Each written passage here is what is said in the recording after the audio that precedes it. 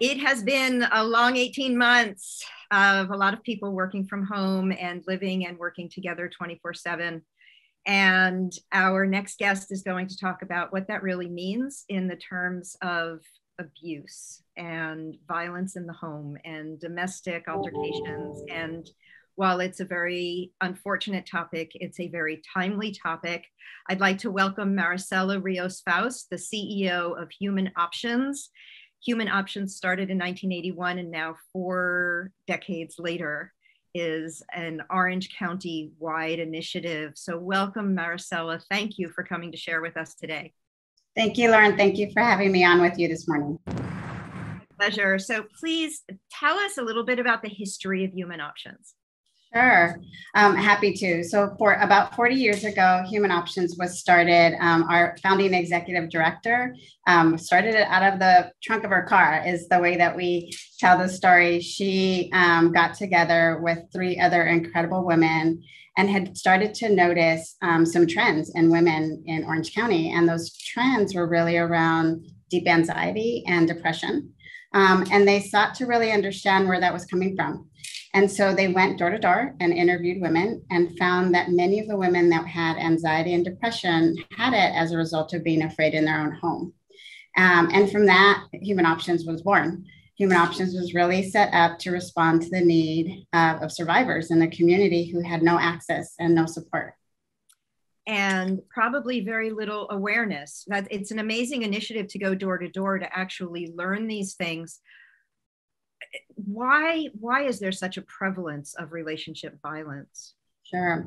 Um, you know, that's a that's a great question. Over time, um, you know, our 40 year history, what we've learned is that the prevalence exists because nobody's talking about domestic violence. It's one of the um, it's a very well known, well hidden secret, I would say. So, you know, it's something that when you start to talk about it, everybody shies away um, Human Options has begun to really talk about it in terms of relationship violence because what we understand is when we say domestic violence, almost everyone listening can say, Oh, I know what that is, and either tune you out um, or their, the experience with domestic violence is so intense that they can't really have a conversation around it because of some other experience.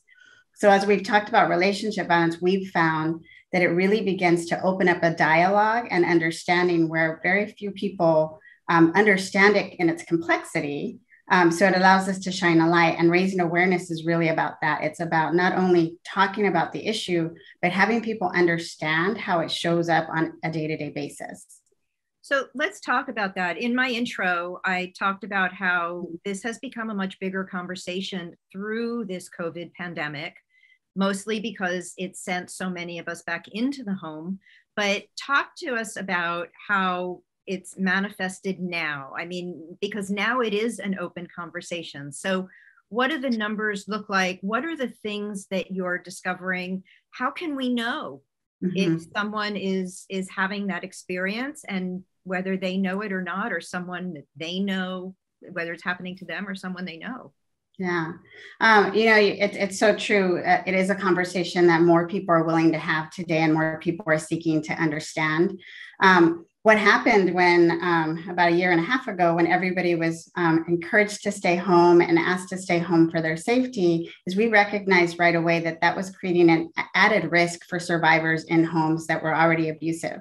Um, and so really trying to understand um, how do we get, get information to survivors who need that window of time to be able to flee when there's abuse really intensely um, so that they can get the access to support that they needed. We found that abusers were using um, the shutdown orders as a reason to keep the, the abused woman or child or, or man um, really kind of confined to their home. So, really saying, well, you can't go out there because you're going to risk um, right, getting sick, you're going to risk catching COVID. They're never going to take care of you the way that I do. Um, but it also created an opportunity for us as an organization to begin to help people understand what it must be like to be afraid in your own home, to not have safety and security. Um, our numbers really in the first few months of the pandemic doubled. Um, we saw people trying to access our hotline and more importantly, trying to access legal, legal resources uh, for the reasons I mentioned before, which was really having the abuser use custody as a way of keeping control of the of the abused woman. um, having them say, well, if you go to this environment, I'm going to take the kids away. So it's always some manipulation of the system and really act, trying to understand what their rights were during this time was something that was critically important.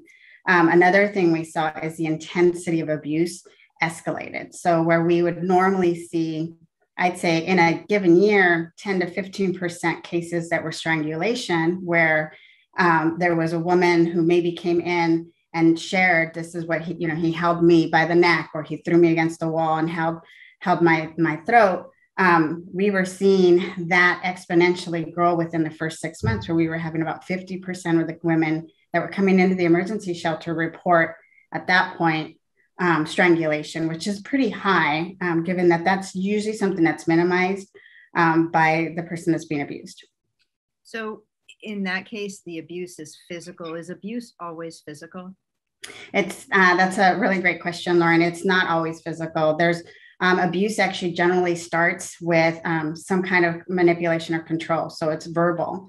Um, it's something around like, well, why are you wearing that outfit? Right? Um, why are you talking to that friend of yours? She doesn't like me. She's trying to set a bad example for you. She's trying to influence you. Um, oh, I don't like you talking to other men. It makes me it makes me uncomfortable. So it starts with the manipulation and control of the individual um, verbal it's psychological it's really saying you know um, you're not that smart why why did you do that that's so stupid and making comments like that and gradually will grow to abuse very few cases start with um, the abuser um, actually physically assaulting the woman or the man in their on their first date it's a gradual sort of increase and escalation um, and it's all about power and control it's all about removing social support from the victim um, and then making them 100% dependent on the abuser. So, the other type of abuse that I know we hear about, but I don't know how much the conversation has really turned there is elder abuse. Right. And as someone who literally, because of COVID, moved across the country to care for my octogenarian parents, this is a topic that has come up a lot more for me. Can you talk mm-hmm. about how that's um, recognizable and what can be done about it, how to know it's happening or not? Yeah, um, that's a that's a great question. So for for what uh, for human options, what we have known for a long time is that the abuse, um, in particular in an abusive marriage or relationship, does not end when you become a senior. Um, and in a lot of cases, maybe it subsides or maybe it's become less intense. Um, but what we're finding more and more is that the adult child actually then t- steps in as the abuser. Uh, we find cases where maybe um, for economic reasons, the adult children have had to move back into the home and they began to control the finances or they began to um, you know move the adult the, the senior into the garage. We actually had a case where adult children moved back home. Um, their mom had been abused for years with by their father. Their father finally pa- uh, passed away.